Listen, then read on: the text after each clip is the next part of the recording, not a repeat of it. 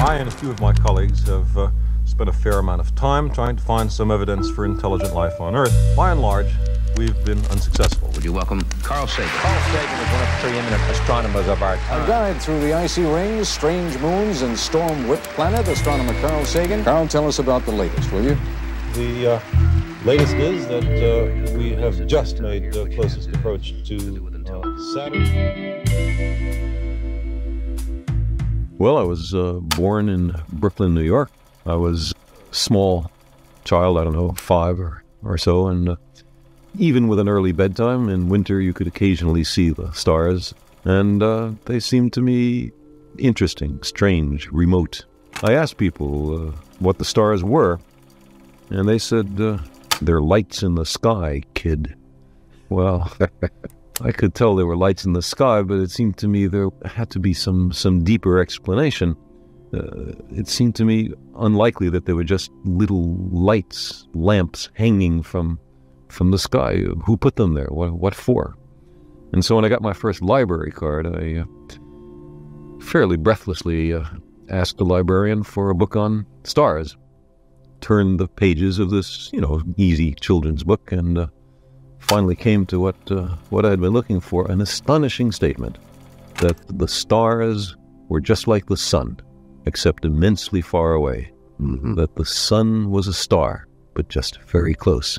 I couldn't tell how close the sun was, or how far you'd have to move it to make it as dim as a star, but I could tell it was a very big distance. And suddenly, the scale of the universe opened up for me. A, a very powerful emotional experience, which uh, I'm uh, still engaged in.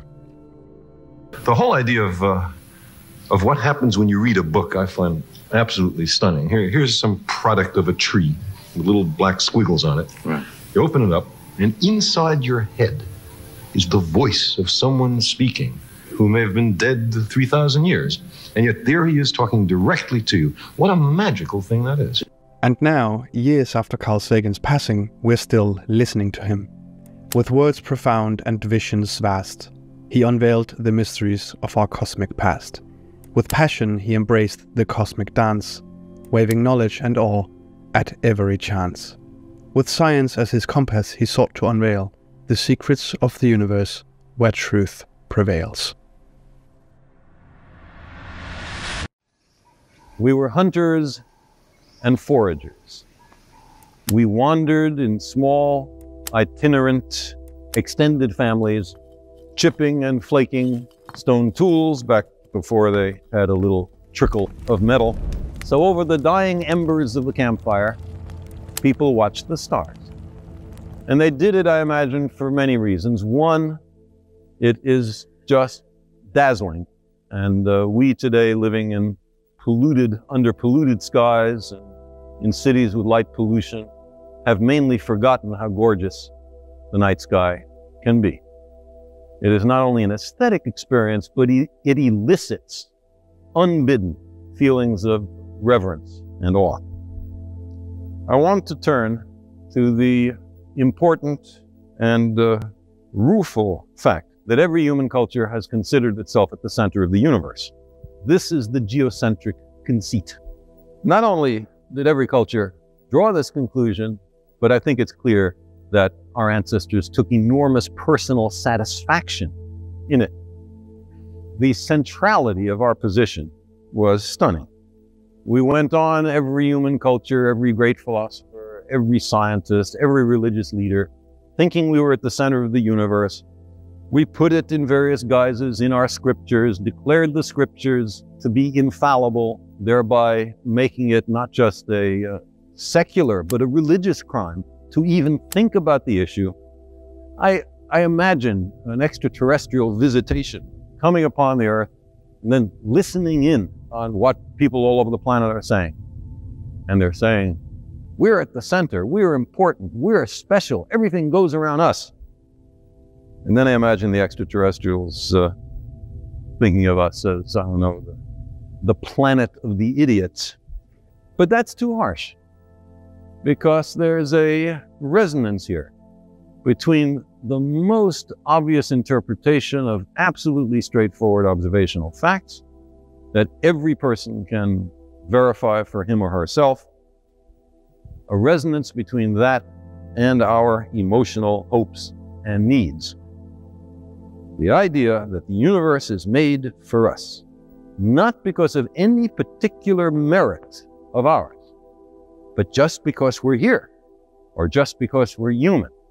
To me, this seems to resonate with the same psychic well springs responsible for the view that our nation is special and the center of the universe, and the same psychic well springs that say that our gender or our ethnic group is important and central, and all those alternative ways of being human are somehow less central, less important, uh, less worthy than we are.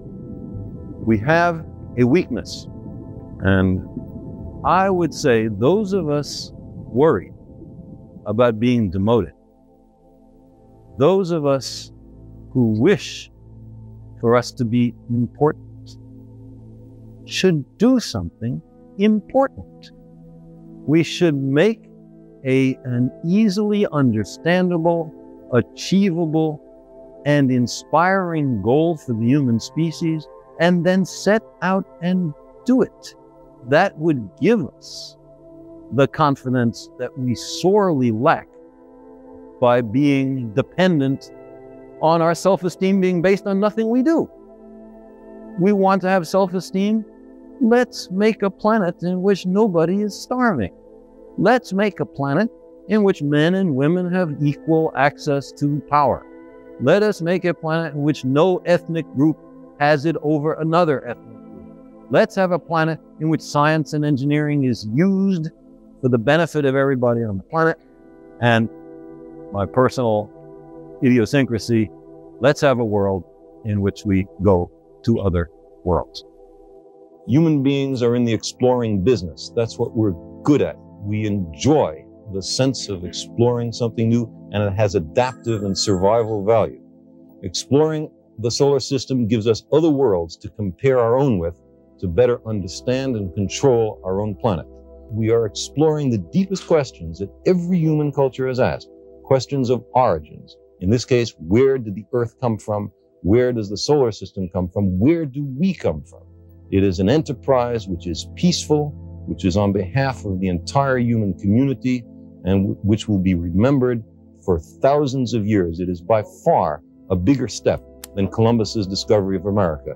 The exodus of human beings and their robot emissaries to explore their local swimming hole in space. We have the ability to find out the answers, send spacecraft to nearby worlds, use radio telescopes to see if anyone's sending us a message from a planet of another star. I'd be ashamed of my civilization if we had the tools to find out the answers and refuse to look. We are at a very dangerous moment in human history. We have weapons of mass destruction. We are in the process of inadvertently altering our climate and exhaustion of fossil fuels and mineral, all, all kinds of problems which come with technology. We are not certain that we will be able to survive this period of what I like to call technological adolescence. Were we to receive a message from somewhere else, it would show that it's possible to survive this kind of period. And that's a useful bit of information to have.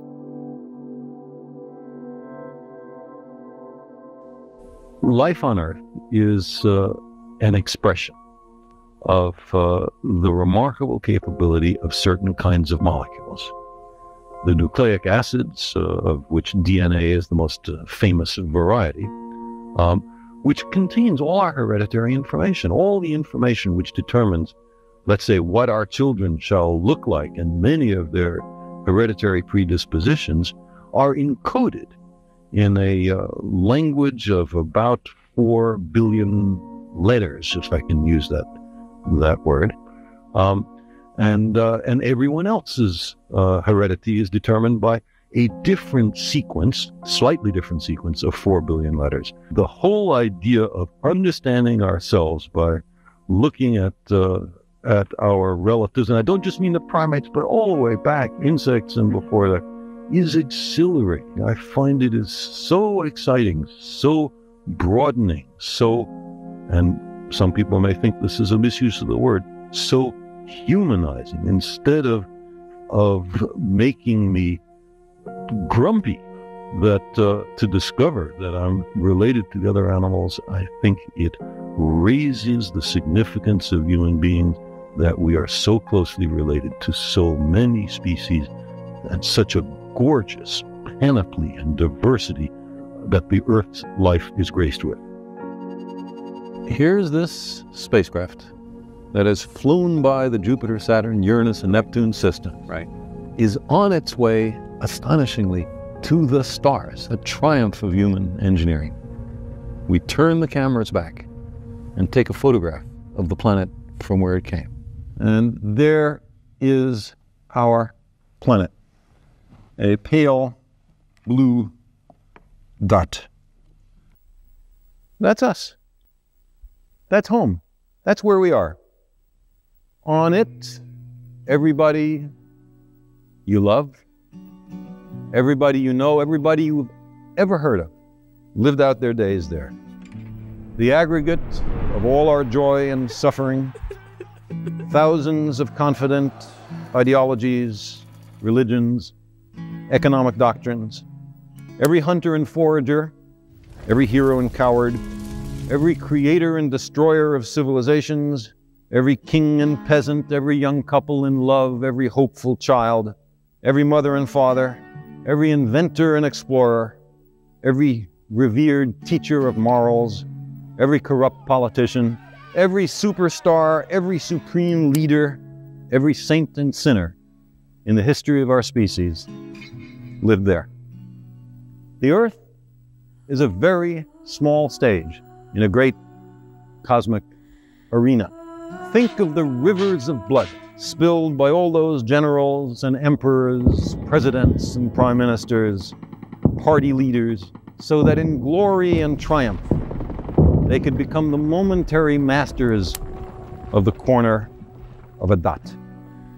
Think of the endless cruelties visited by the inhabitants of one part of the dot on the scarcely distinguishable inhabitants of another part of the dot how frequent their misunderstandings, how eager they are to kill one another, how fervent their hatreds, our posturings, our imagined self importance, the delusion that we have some privileged position in the universe seem to me challenged by this point of pale light.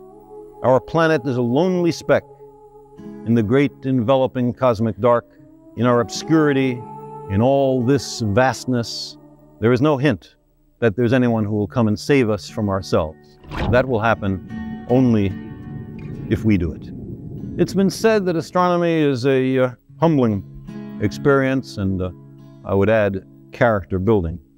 To me, this is one of many demonstrations through astronomy of the folly of human conceits. To me, this picture underscores our responsibility to deal more kindly with one another and to preserve and cherish the pale blue dot, the only home we've ever known.